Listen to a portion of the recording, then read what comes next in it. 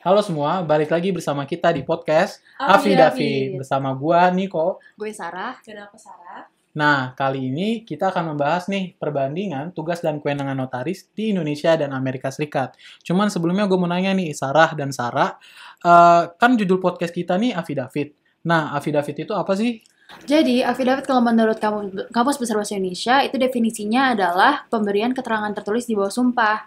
Nah, tapi kalau misalnya menurut Cambridge Dictionary, eh, pernyata, eh, affidavit itu adalah pernyataan tertulis yang dibuat seseorang setelah berjanji secara resmi untuk mengatakan yang sebenarnya. Jadi, s- pada intinya, sebuah affidavit itu dapat digunakan sebagai bukti di pengadilan. Nah, apa hubungannya tuh sama judul podcast kita?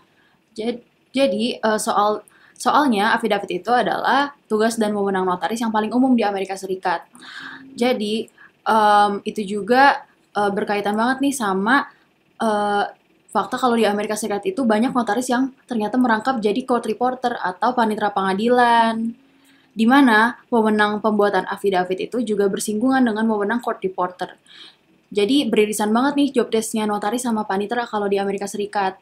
Hal ini juga berkaitan sama pernyataan Asosiasi Notaris Amerika Serikat atau National Notary Association yang menyatakan bahwa terdapat prosedur yang ketat nih untuk menentukan bagaimana eh, pernyataan di bawah sumpah itu dieksekusi dan eh, National Notary Association ini juga sangat menyarankan kalau notaris ini juga mengambil em, pernyataan di bawah sumpah hanya jika mereka memiliki pelatihan profesional yang sesuai gitu. Wah, menarik juga ya. Padahal kayaknya di Indo nih nggak bakal bisa bayangin nih profesi notaris sama panitera pengadilan tuh jadi diemban sama satu orang yang sama. Benar Hmm, Iya kan? banget. Emang kalau di Indo gimana tuh, Sar?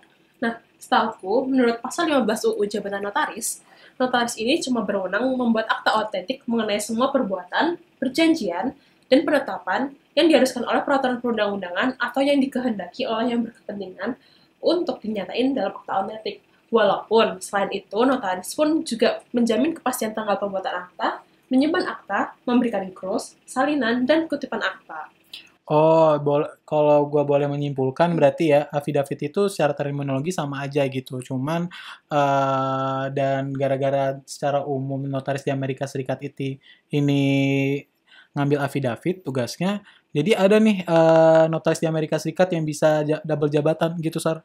Bener banget. Bahkan itu adalah hal yang umum gitu kalau di Amerika Serikat. Untuk seorang notaris itu menangkap jabatan sebagai court reporter atau panitera pengadilan. Oh, bahkan kalau tadi gua dengar pembicaraan lu, eh, asosiasi notarisnya itu juga menyarankan dia eh, jadi court reporter juga gitu Benar, notarisnya.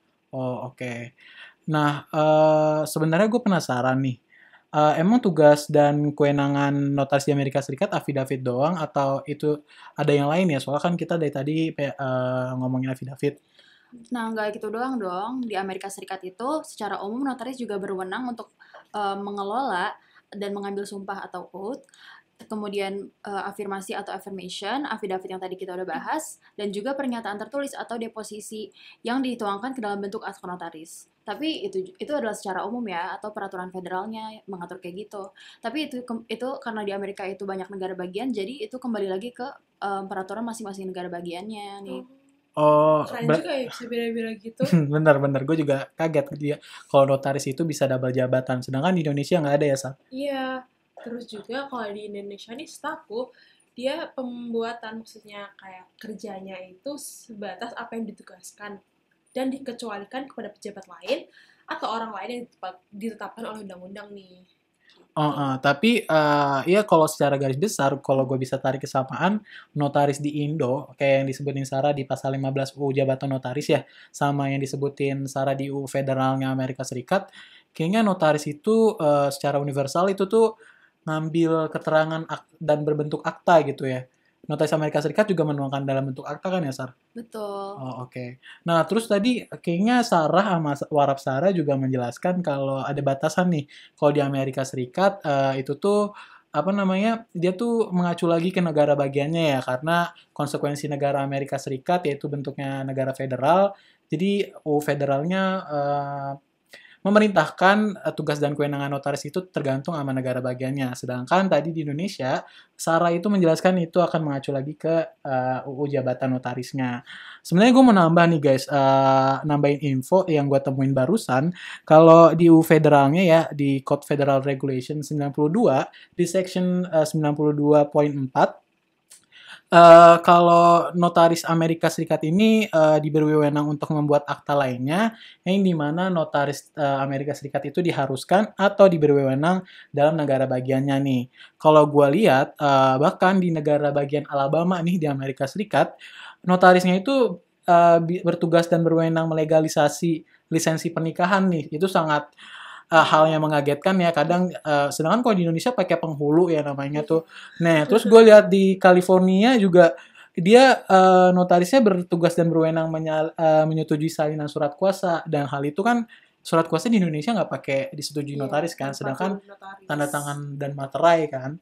Terus gue juga ngeliat nih Florida, dia bisa melangsungkan pernikahan. Jadi gila penghulu di Amerika Serikat notaris kan keren banget tuh. Jadi notaris udah bukan bukan cuma notaris, dia juga panitera, dia juga penghulu ya guys. Hmm, betul. Nih di Florida juga mengsertifikasi isi berangkas, sama verifikasi nomor identifikasi kendaraan.